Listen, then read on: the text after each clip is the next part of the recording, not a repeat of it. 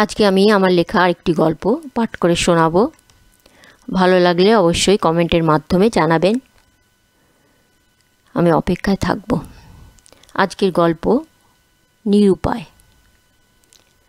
রজত বসে ভাবছে, কালকের মধ্যে ছবিগুলো জমা দিতেই হবে। আর দু সপ্তাহ বাদেই এক্সিবিশন তার আগে ছবিগুলো পারমিতাদিকে দিয়ে একটু চেক করাতে হবে। দশটা ছবি লাগবে, আর একটা বাকি। এর মধ্যে পাঁচ কাপ চাও খেয়ে নিয়েছে রজত। হঠাৎ ফোনটা বেজে উঠল। রজত তুলে দেখল নন্দিতা। কি গো, ঘুমাওনি? ওপাশ থেকে নন্দিতার গলা। না, তোমাকে সন্ধ্যেবেলায় বললাম না, আর একটা ছবি বাকি। কিন্তু মাথায় কিছুতেই আসছে না, কি আঁকবো? কেন, কিছু বলবে? নন্দিতা বলল, না, এমনি ঘুমিয়েছো কি না, দেখলাম। আচ্ছা গুড নাইট, তাড়াতাড়ি শুয়ে পড়ো কিন্তু, বলে নন্দিতা ফোনটা রেখে দিল। রজত ভাবে কিছু একটা করতে হবে। বাবা ঠিকই বলতো, এই আঁকা নিয়ে বসে থাকলে কিছু হবে না জীবনে। কবে একটা আঁকা ছবি বিক্রি হবে, সেই আশায় থাকলে না খেতে পেয়ে মরতে হবে। কিন্তু রজত কি করবে? সে যে ভীষণ আঁকতে ভালোবাসে।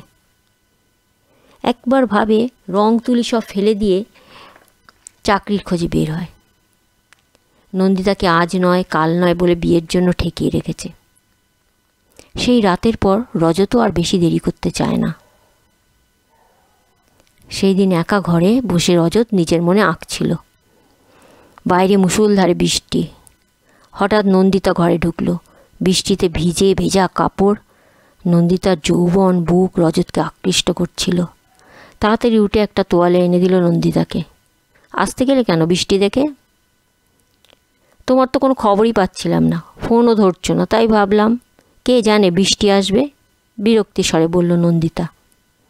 ততক্ষণে রজত ফ্লাক্স থেকে চা ঢেলে নন্দিতার দিকে এগিয়ে দিল। বলল, গরম গরম খাও। বাইরে বিশাল জোরে কোথায় বাজ পড়ল। নন্দিতার চায়ের কাপ কেঁপে উঠল। এখন হোস্টেলে ফিরবে কি করে?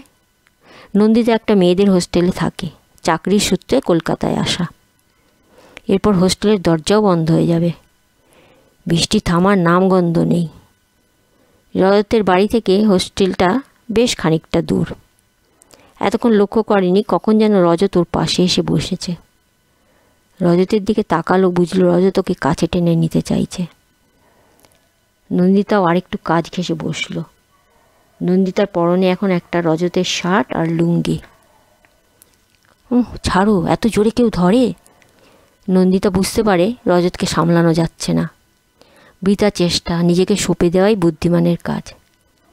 রজত বুকের জামার বোতাম খুলছে একটা একটা করে। নন্দিতা হঠাৎ হুঁশে ফিরল।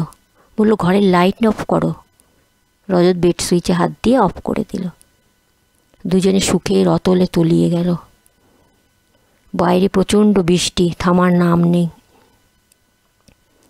আজ এখানেই থাকতে হবে মনে হচ্ছে। এমনিতে রজতের বাড়ি ফাঁকাই থাকে, বাপ আর ছেলের সংসার। বাবা দেশে গেছেন, রান্নার মাসি দুবেলা রেঁধে দিয়ে চলে যাচ্ছে। রাতে রুটি আর ছোলার ডাল। দুজনে খেয়ে দু কাপ কফি নিয়ে বসেছে মুখোমুখি। তারপর থেকে দুজনে চুপচাপই ছিল। সুখ আর অজানা ভয় মিলেমিশে একাকার হয়ে গেছিল। সকালে এক কাপ চা খেয়ে নন্দিতা অফিস বের হয়ে গেছে। দুপুরে কিছু আনিয়ে অফিসে খেয়ে নেবে। রজত তখন ঘুমাচ্ছিল।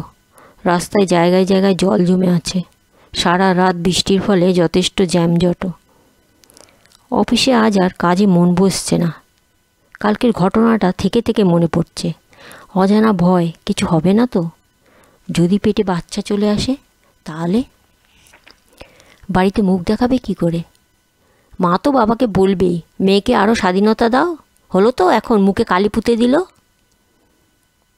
দূর, যা হবে দেখা যাবে, অত ভেবে লাভ নেই। তাছাড়া রজতার ও তো বিয়ে করবে। বেয়ারার ডাকে নন্দিতা চমকে উঠল। দিদি, সাহেব আপনাকে ডাকছে। যাও, আমি যাচ্ছি, বলে নন্দিতা টেবিল ছেড়ে উঠল। সেই রাতের ঘটনার পর রজত ভীষণভাবে ভাবছে, একটা পার্মানেন্ট কিছু করতে হবে। নন্দিতাকে আর একা থাকতে দেবে না। বিয়েটা যত তাড়াতাড়ি পারা যায়, সারতে হবে। এই এক্সিবিশনটা শেষ হলে, ছবি বিক্রি হলে ভালো, তা না হলে তারপর একটা চাকরির চেষ্টা। ঘড়িতে বারোটা বাজল। সেই মান্দা তামলের ঘড়ি। এত জোরে ঘণ্টা বাজে, ঘুমন্ত মানুষও জেগে যায়। একটানা সামনে একটা বিয়েবাড়ি থেকে সানাই সুর ভেসে আসছে। এখনও রজত ভাবতে পারিনি কি আঁকবে। একটা সিগারেট ধরিয়ে বারান্দা এসে দাঁড়াল। কুকুরগুলো প্যান্ডেলের পেছনে ফেলে যাওয়া এটো খাবারগুলো খাচ্ছে আর নিজেদের মধ্যে ঝগড়া করছে। রজত হঠাৎ অন্ধকারে দেখল এক মহিলা বাচ্চা কোলে নিয়ে কুকুরের সাথে এক পাতে এঁটো খাটা খাচ্ছে আর সন্তানের মুখে তুলে দিচ্ছে। রজত দেখে স্তম্ভিত হয়ে গেল। রজতের মনে হলো, এটাই সে আঁকবে। এই ভিকারিনী মা কত নিরুপায় হয়ে লোকের এটো বাচ্চার মুখে তুলে দিচ্ছে। এটাই আঁকবে আর এটাই হবে তার এক্সিবিশনের বেস্ট ছবি। রজত সিগারেট শেষ করে রং তুলি নিয়ে বসে পড়ে। আঁকতে হবে।